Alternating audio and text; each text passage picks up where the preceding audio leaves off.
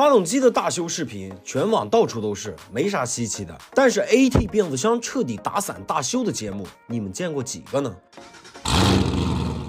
？Hello，大家好，欢迎收看《变废为宝》第三期。之前我花四万块收购了一台二十五年前的火星车况雷克萨斯 LS 四百千禧版。上一期我们已经彻底修好了它的 V 八发动机，这一期我们干脆一不做二不休，直接把它变速箱也彻底打散，彻底让它恢复巅峰状态。那么问题来了，你们觉得修一台二十多年前老掉牙的自动变速箱，究竟要砸进去多少个 W 呢？发个弹幕预测一波。接下来就让工具人老李上场吧。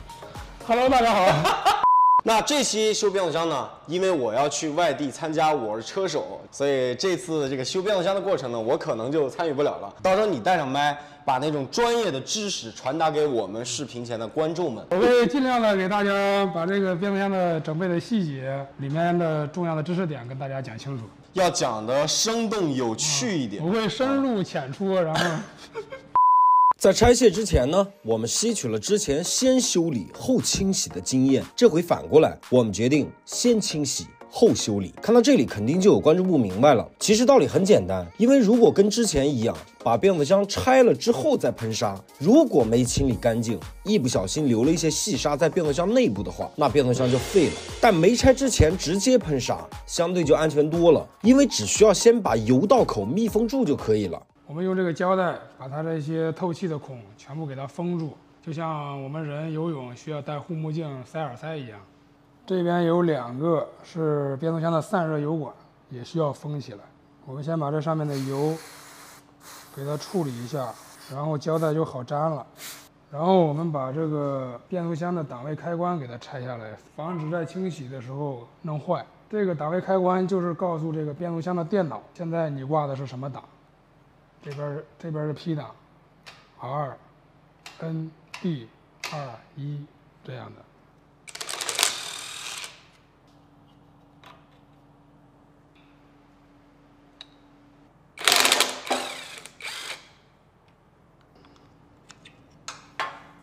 我现在把它弄到洗车房，给它做一下简单的清洗先。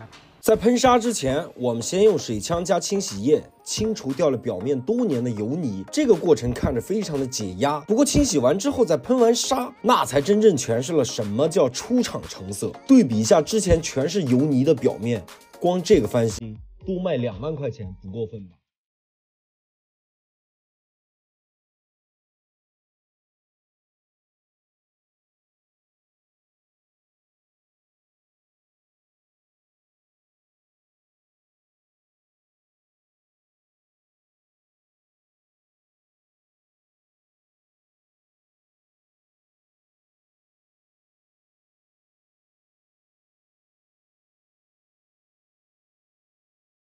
不过光是清洗干净表面，这叫哪门子的翻新整备呢？我们的目标是把变速箱内部所有的犄角旮旯全都清洗干净，再把所有老化损坏的零件、橡胶密封圈全都更换掉，让它从里到外都彻底焕发新生。不过说实话，变速箱内部可比发动机复杂多了，我甚至都有点怀疑老李能不能给它修好。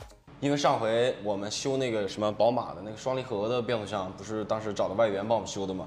然后老李跟我说，他说他职业生涯刚开始学修车的时候，学的就是变速箱的修理。他刚开始居然是从变速箱开始修理，然后变成了修理工。所以我瞬间感觉我又省了一大笔钱。那为什么上次那个宝马双离合你要叫外援呢？对吧？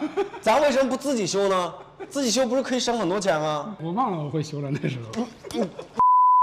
然后我们拆卸油底，把里面的阀体先取出来。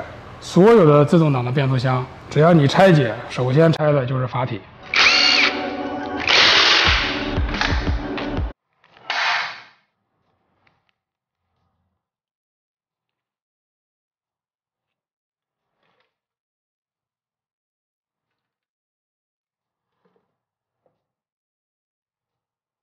这种红色的胶一般都是原厂出的时候打的密封胶，所以这个变速箱是没有开封过的，它换的纯拆的。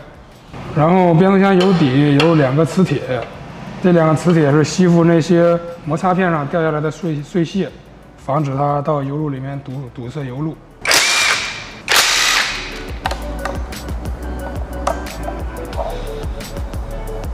这就是变速箱的滤网油格，这个是是这种滤网滤网形式的油格，不是那种纸滤的，所以这个清洗一下还可以接着用。